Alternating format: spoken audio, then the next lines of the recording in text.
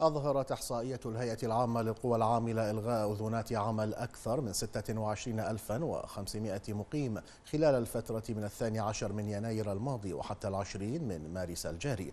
وتم إلغاء أذونات عمل نحو 17 ألف وافد ووافدة لسقوط الإقامة خارج البلاد. ونحو ألف إذن عمل ألغي لوفاة العامل و500 وخمسين تحويل إلى التحاق بعائل وسبعة آلاف وثمانمائة إلغاء نهائي للسفر.